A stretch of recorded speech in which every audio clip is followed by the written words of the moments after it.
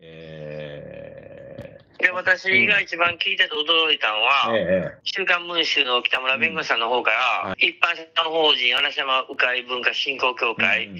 あなたは理事長ですねって言われた言われた後に、うん。理事長より上の職はないんですか？聞かれた時に、ええ。嵐山雲海振興文化協会はうん理事長がトップですと、えー宮さんは名誉総裁ではないですと言い切ってます。言い切ってるけど、自分たちが作ったあの書類にだって載ってるじゃないですか。そうなんですよ。何を言ってるんかなと思って。いや、これだって人が作ったんじゃなくて、自分たちが作った書類に、ちゃんとエイミヤ殿下が名誉総裁になるって載ってるわけですよ。載ってますよ。そう、みんな承認してますんでねう。ん理事会開いてるんで。あれ見てる人はいっぱいいるわけでね、よくこんな取ってつけたような嘘言えるなと思いますよね。そうなんですよ。あのうちの裁判でも最後に湯川被告が、うん京都地裁裁判官が聞かれたときに、100万円は何に使ったんですかと言われたときに、鵜飼サミットに来てもらうためと、一般社の法人の名誉総裁になってもらうために100万円を使いますとはっきり言い切ってるんでね。うんうんうん。これもだから真偽やっぱ確かめてもらわなきゃならないですね。そうですよね。うん。いや、それで、まあ結局ね、そう嘘を言い切ってですね、最後に述べてるのが、さっき社長おっしゃっていただいた、この裁判に勝ってね、山崎動物看護大学に戻っていたいと。大学側もそれを希望していると。それから山科鳥類研究所にも席がないので戻りたいと。よそうです。そんなことを無双してんですね。まあまあ、本人はどう考えてるんですよ、本当に。で私はもう、あんたの居場所はね、80歳超えたらおめこぼしあるかもしれないけどね、まあ、静かにあの塀の中で暮らした方がいいんじゃないかと思うんですよね。まあまあ、私もそう思うんですけど、うん。安全ですからね。うん。あの私、もう一つ聞きたかったんですけども、この間、あの見せていただいた書類ありますよね、あの京都府から来たね、で京都府の方は、い、わゆるその中之島地区のあの、ね、公園のおウゴ屋を撤去した費用、あれも高すぎると思うんですけどね、987万8000円ですよね。約あそうです。んこれを連名であの請求してきましたよね、嵐山通船小島社長と、おそれから一般社団のお生産代表人のその奥野拓司氏と、この2社に要求して、納付書にも名前が2つ明記してあるんだけど、これ、本当に役所の書類としてはびっくりする書類で、まだわかるんですよ、納付命令書がそうなってるのはわかるけど、納付書にそう連記して、どっちが入れるかについては、お前ら勝手に相談してやれよって意味じゃないですか、あれ。いや、僕もそう取ったんですよ。で、弁護士さんにも、あの、うちと一般社の法人はあ裁判喧嘩してる中なんで、うんこれ、なんでうちが、その、まあ、払うことに決めたんですけど、990万円、うんうんまあ、払わなあかんのですかと言ったら、うん。まあ、多分奥の側にも言ってるでしょと、同じうんうん。書類が。うん。だから多分向こうも払うと思いますと。うん。うん。で、払わないと、やっぱり、その、法定金利うん。金利がものすごく高くつくので、うん。まあ、払ってから、ちゃんと京都地裁で裁判しましょうとうんうん。いうのが弁護士さんの見解やったんで、なるほど、うん。大変ですね。まあ、私も弁護士さんを信用してますんで、うん約1000万円ですね、工面して、まあ、正々堂々と金借りたと思ってるんでね。いや、でも大変ですね。でも、向こうが払ったかどうかね、わかんないですからね、これ。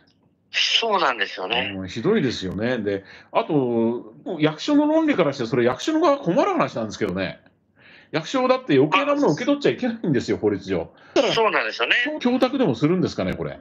決着つくまで。どうするんでしょうね、京都府うは。ん、まあ、京都府にしてもど、まあ、どっちが払うにしろ払ってくれたらいいやってことで、察知であげたと僕は思ってる。そちらのやることなんで、私がいろいろ口挟むんじゃないけど、普通はね、例えば、本当に正当だったら払うんだけど、正当だと思わない争うんで、うんこの額を供託しておきますっていうのは、例えば嵐山通船でもありなんじゃないかと思ったんですけども、払っちゃうわけですか。まあ、弁護士の方はもう、うん。まあ、行政的な事実なんで、まあ、払わなあかんだろうということで、まあ、払いましょうということを、ね。まあ、京都府の方に通達してもらってるんでね。うんうんまあ、要するに法定金利がついちゃうってことですよね、あの供託してもね。そういうことは思うんですよね。うんなるほどね。本当にそういう意味では、向こうが払ったかどうかとか確認することが必要だと思いますよね、弁護士さんからね。そうなんです。でもこれ、例えばね、争いになったら当然、その京都府のね、西脇知事と嵐山通船が争いになった場合もですね、これはあのお向こうの一般社団の代表生産人である奥野拓司氏は無関係ってわけにはいかないですよね、これ。それは当然そうですよ。うん、ううちの場合は、やっぱりその、お金払う云々より、うちに請求してくるのがおかしいということをうん言っていくこと思う思うんでね。そうですよ京都府にね。対して。本当にそういう意味ではね、それも必要だし、あとね、だから私ももうちょっと働きかけてみますけどね、お本来はだって、いいようにむしられてるわけですよ、嵐山通船ってのは。小屋を作るのでも借金させられて、それも返済してね、しかも、やはり給料がいる、手当がいるって、領収書なしでね、奥の託児からむしられてね、奥の託児が責任あるったら、もう、あの、ほっかむにしてね、名前は出てるけどもね、あの、払ったことが分かりませんじゃ、これ、世間では通る話じゃないですよね。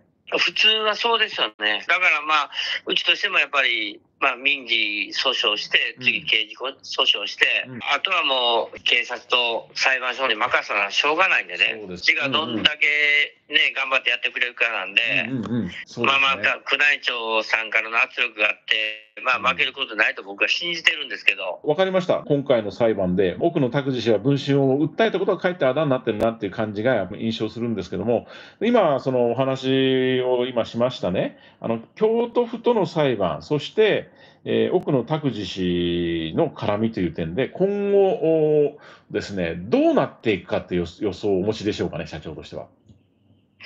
えー、うちの場合は今度5月の21日の火曜日に、まあ、4つ目の最後の裁判ですよね、うん、まあ、その民事の判決が京都地裁で降りるんで、うん、990万円は17日まで支払います、うんうん、そう書いてあるんでね。ええまあ、その後に21日に最後の裁判の判決があるんで、うん、その後、もう刑事告訴に持っていく予定してるんですよ。あなるほどね。これ、刑事告訴の相手は、はい、湯川直樹氏。湯川直樹氏ですね、今のところは。ね、うんまあ、あとは篠原さんのあれですよね、あの去年の5月に出してもらった大阪地検特捜部に対する告訴状ですよね。ええまあまあ、それで今度は大阪地検特捜部がどう動いてくれるのか。あそうですね、これは私の方働きかけてみますけどね。ええー、奥の拓司氏も逃げちゃいけないなって話だと思うんですよね。いや、もう逃げられないでしょ。うん。かなりこう切り離そうとはしてるけど、でもこれ、切り離してもいいもんじゃないと思うんですけどね、山寺鳥類も見せていただいた書類では、あの会計報告もされてますよね。奥野さんに対するあの、うん、お金の使い方に対してですよね。うん、でもあれ、うん、ひどいですよね、あの迂回の研究費と称して出したお金がね、あの即位の例に行く時のハイアー代に消えてるって、何なんですか、これ。なってますよね。ひどいですね、これね。まあだから80万円そもそもが全部山下調理というと奥野さんそもそもの個人の支出に使われてたいうことですよね。そういうことですよね。だからそういう点ではね、あの国の補助金が8億が入っているところの会計がいかにずさんかっていうこともね、あの一端が見えたんでね、これはこれでちょっとと別の突っ込み方を僕もしなきゃいけないかなと思ってるんですけどね。そうなんですよね。うん、うちの事務所の横のあのボロッチ家ですよね。あそこもね、奥野さんのメールで見れば、あれは山科鳥類研究所に入ってる国の予算で買うと。うんうんだからその前にさっき嵐山通船でこう出てくださいということで、湯川被告は1620万で買ったんですよね。うんうん、けどまだ国の予算、うちの会社で降りてないんですよね、1620万円。多分ずっといつ降りてくるのかと思いながら期待してるんですけど。まず降りないでしょうね。全くうち損ですよね。うん、全くだから、変な話ですけどね、あの国というものを背負ったり、山科鳥類研究所を背負ってね、作業を働いたのと同じなんですよ、これ。まあまあ、それが許されるんでしたら、もう日本はよっぽどダメな国になっていきますよね。でしかも、一応ですよ、今の皇室典範では、あの皇位継承第1位の人の名前が使われてこんなことになってるわけでね、もっともっと国が怒んなきゃいけないんですけどね。そうなんですね、もうマスコミさんが一生懸命報道してもらって、宮内庁にちゃんと説明責任を果たしてもらうとだめだと思うんですけどね。本当、その通りですね。これからもね、またあの、近々伺ってですね、お話を聞いたりもしたいと思いますし、ぜひね、嵐山通船っていうものをみんな見てみたいっていう人もいるんでね、なんかそのうちなんか、あの、イベントも企画させていただいて、そちらで屋形船に乗る会なんかもちょっと企画しようかなと思ってますんで、全然大丈夫なんで。視聴者さんからの質問なんですけれども、はい、裁判費用のカンパは受け付けておりますかっていうこと。あ、嵐山通船が起こす裁判に対してですか、はい、裁判全体、そういったことにかかるお金を、うん、あのカンパ募り募ってますかって受け付けてくれますか？うちは受け付けないです。うん、そうです、ね、あの何でか言いますと以前にも言ったと思うんですけどやっぱり湯川被疑者社長を選んだのは、やっぱり株主さんの責任でもあるし、うちの船頭さんの責任でもあるんですよね。それをカンパ受け付けてやると、なんか私たちが責任逃れしてるように感じるんですよ。あなるほどね。うん、やっぱり自分たちの責任はやっぱり自分たちで負う。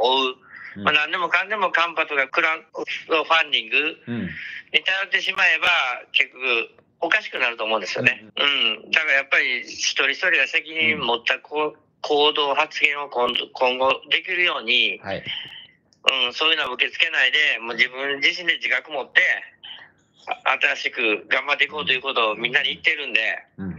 まあそのためにもう仕事を体で返すしかないと。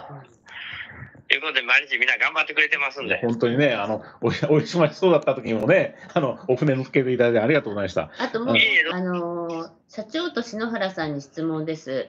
通告が奥野さんには行ってい言ってなかったのはどうして分かったの？いや、私はそこまでまだ調べてないです。弁護士さんに聞いたら絶対に言ってるはずやと弁護士さんはおっしゃってましたんで。片側通行はないということをおっしゃってました、うちの弁護士さんは。私はね、行政の常識でね、両方に同じあの納付書を送んないと思うんですよ。あ、そうなんですか。名前をね、別々の場所の名前がね、連記されたね、納付書を送るっていうのはね、これ、下手すればこれ、無効になっちゃうんですよね、請求が下手すれば。まあ、まずその辺は弁護士さんに聞いてもらいますけど。うんうん、これはだからね、嵐山通船つついた場合、おお奥野氏についてたら、これ、どういうふうに処理するのかって話になるんで、これ、かなり難しい話ですよね。なるほどね。うん、これはアリバイ的に書いたんで、両方通告したら、多分また先になって困るのは京都府の方だなと思いましたんでね。だから、さっき言ったように、この納付書は全く同じものが奥野氏の手に行って、えまずありえないですけど、奥野氏がね、同じ額を払ったとしたら、これは会計上、めんどくさいことになるんですよ。なるほど。うん、京都府はこれあの、決着がつくまで両方供託しなきゃなんなくなりますよね。まあ、その辺はまだ確かめますので、うん弁護士さんに。はい、お願いします。私の今今までの行政経験から言った話です、これは。はいはい、ありがとうございはます。い、いうことです。はい。すいません。あの、今日は遅くまで、あの、おいいいいですよ疲れのところ、えはいはい。また、あの、お近々伺っていろいろ相談しますんで、よろしくお願いします。はい、わかりました。はい。ありがとうございました。はい、はい。はい、失礼します。はい